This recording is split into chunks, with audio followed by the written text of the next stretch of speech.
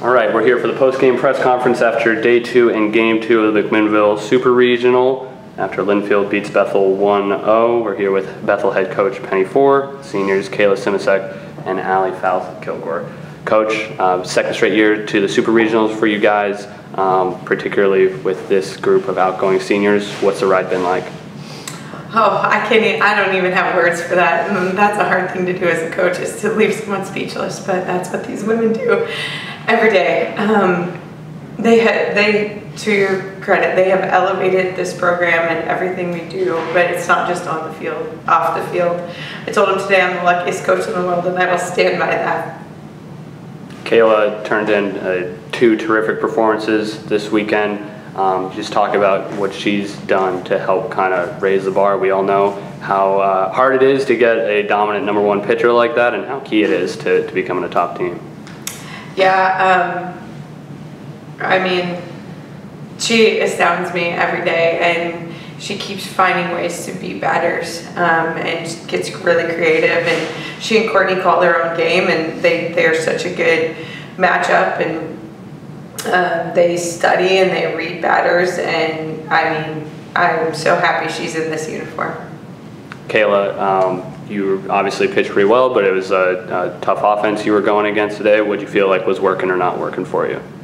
Yeah, just um, reacting, kind of like what Penny said, reacting to how they approach me and taking the knowledge that we have with the charts and stuff like that and using that to our advantage. You've been arguably the best pitcher in Division Three the last couple of years. Are you planning on coming back for a fifth year? We'll never know. All right, we we'll gotta find out. find out this summer. Allie, uh, you're the only five-time All-Region player ever, the only five-time All-MIAC player ever. As you guys have really, I mean, like I said earlier, raised this program to not just the top of the MIAC, but one of the best teams in the country. When you look back on the last five years, uh, what have you been thinking about with this group? Oh boy. yeah, it's um, when I came into this program, it was a 500 program. We were half winning, half losing, like um, not because of Penny. um, but it's just been so amazing to see um, this program grow and see um, the women grow. I've got to see a lot of people graduate. I've got to learn from a lot of people, and um, I've got to be impacted by a lot of people. Um, Penny being a really big one of those people. So it's just been it's been amazing to be able to to grow um, with a new group of women each year, and um, like I said, to see this program grow and succeed. And I hope that that legacy continues. And um, yeah, I just I think it's just been great to be surrounded by a bunch of Christian women um, and men and be able to, to grow in faith, grow in the sport, grow um, in life, and it really does translate to life um, in a lot of ways. And I've got to see that this year, being a working adult and married, and yeah, so. Well, for you and kind of the rest of this team, what's it been like having a pitcher like Kayla in the circle the last few years?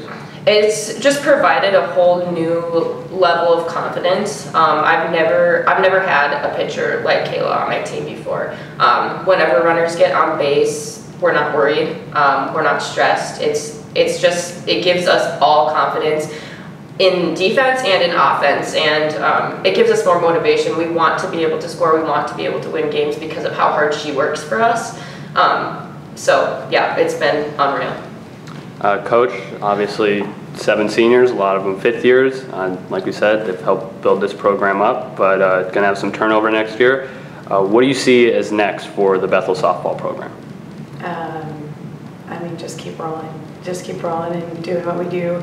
Uh, the thing that we say every day is be exactly who we are and do what we've done. And I, the way that these guys have elevated what we do, we are going to do it again.